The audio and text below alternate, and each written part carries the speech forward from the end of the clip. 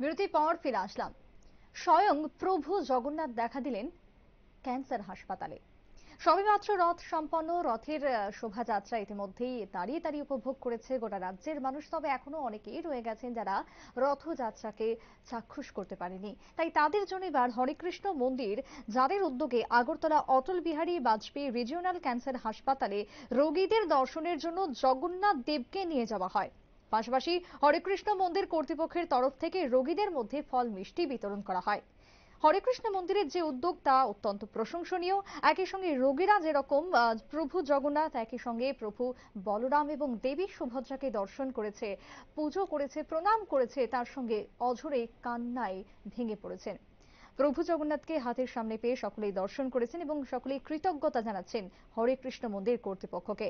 তবে আজকের যে আয়োজন এবং তাদের যে ভাবনা, চিন্তা, বিশেষ করে ক্যান্সার হাসপাতাল যে হসপিটালের রোগীরা তারা যাতে প্রভু জগন্নাথকে একবার দর্শন পায়, তাদের জন্য যে আয়োজন, তাদের আজকের যে ভাবনা, চিন্তা, এই প্রসঙ্গে হরেকৃষ্ণ মন্দির কর্তৃপক্ষ ঠিক কি জানাচ্ছেন? শুনুন।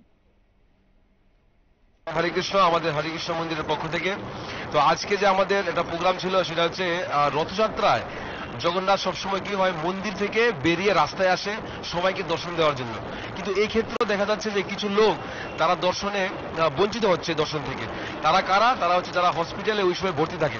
তো আজকে আমাদের হরিকৃষ্ণ মন্দিরের পক্ষ থেকে আমরা এই জগন্নাথ বলদেব সুভদ্রা মহারাজকে নিয়ে এসেছি ক্যান্সার হসপিটালে যেখানে প্রায় দুশোর উপর আমাদের পেশেন্ট ছিলেন এবং সেই সঙ্গে যারা সাপোর্টিং স্টাফ ছিলেন, তারা সবাই যারা রথে অংশগ্রহণ করতে পারেনি, ওদের বিভিন্ন অসুবিধার কারণে ওরা এখানেই জগন্নাথের দর্শন করেছেন এবং জগন্নাথের অশেষ কৃপা লাভ করেছেন। আমার নাম জে এস দাস, আমি একজন সাধারণ সেবক।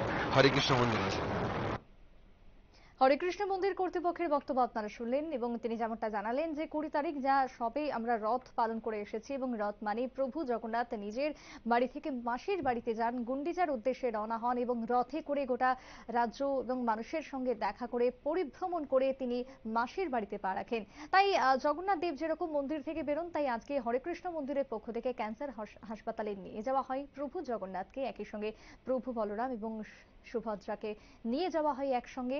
রোগীদেরকে দর্শন দেওয়ার জন্যই তাদের এই আয়োজন বলে জানালেন। একই সঙ্গে ক্যান্সার হাসপাতালের রোগীরা যাতে অতি দ্রুত আরোগ্য লাভ করেন, সেই প্রার্থনাও রয়েছে হরেকৃষ্ণ মন্দিরের পক্ষ থেকে। রোগীদেরকে কিছুটা সাহায্য সহযোগিতার জন্য আহার তুলে দেওয়া হয়, বিশেষ করে ফল, মিষ্টি তুলে দেওয়া হয় হরেকৃষ্ণ মন্দির কর্তৃপক্ষের তরফ থেকে। যদিও এখনও উল্টো রথ বাকি রয়েছে, তাই উল্টো রথের আগেই তাদের যে আয়োজন, আজকে সেই আয়োজন অত্যন্ত প্রশংসনীয় বলে নাচের অধিকাংশ মহলের মতে। একটা ছোট্ট বিরতির পর ফিরছি সঙ্গে থাকুন।